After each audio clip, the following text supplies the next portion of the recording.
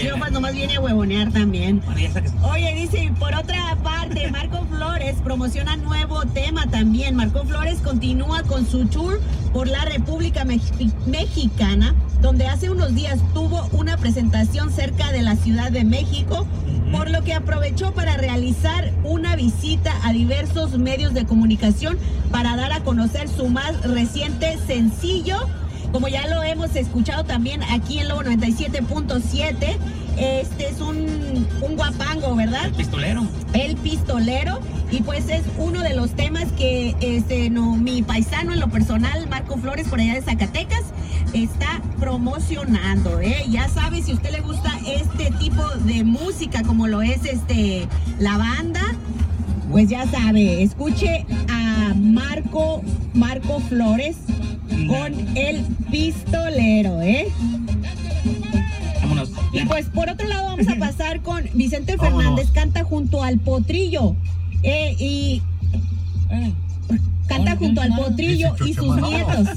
Además de apoyar a sus nietos, a sus nietos, fíjate que Alejandro Fernández en su debut artístico, don Vicente Fernández prepara un nuevo material discográfico Oh, de acuerdo a un diario mexicano. El llamado Charro de Huentitán grabará un disco de colección No, que- en no, donde unirá su cabrón, voz a la de su hijo Alejandro y a la de sus nietos Alex Jr. y Camila Fernández.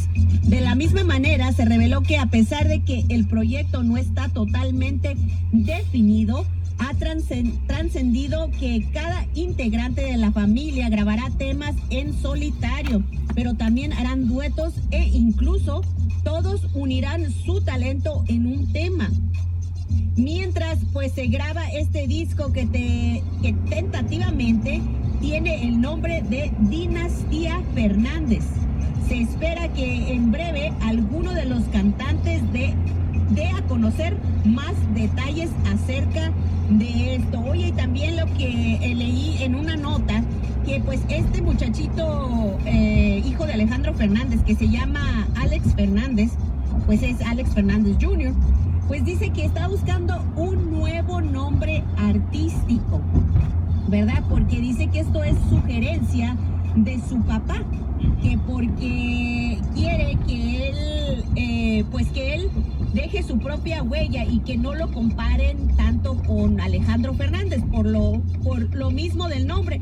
Pero yo digo, pues ya simplemente con que lleve el apellido Fernández, pues ya con eso el muchachito, pues lo van siempre a, pues, a relacionar con la dinastía Fernández. Es que pues no cualquiera es un Fernández, y me refiero a los Fernández de, de, de Jalisco, de, de familiares del señor Vicente Fernández. Mm. Oye, y pues seguimos hablando del señor Vicente Fernández. No sé si en días pasados, pues ustedes este, hayan, hayan este, escuchado o que los Tigres del Norte pues le hacen homenaje a Vicente Fernández con un disco y una canción. Los Tigres del Norte pues regresan con un consentido de Dios. Canción con la que rinden un sincero homenaje al popular cantante mexicano Vicente Fernández, porque según explica entrevista con el EP, a la gente hay que celebrarla, eh, hay que celebrarla en vida.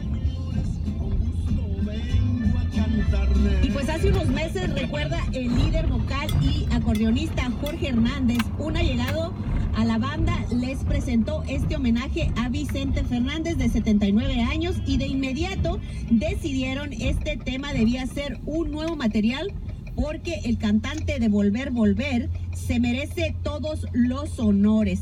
Hernández contó que su relación con el cantante de Huentitán, el Alto, se, re- se remota hace muchísimos años y va más allá del respeto y el cariño de compañeros que han hecho pues eh, muy buena amistad y en la carrera pues también.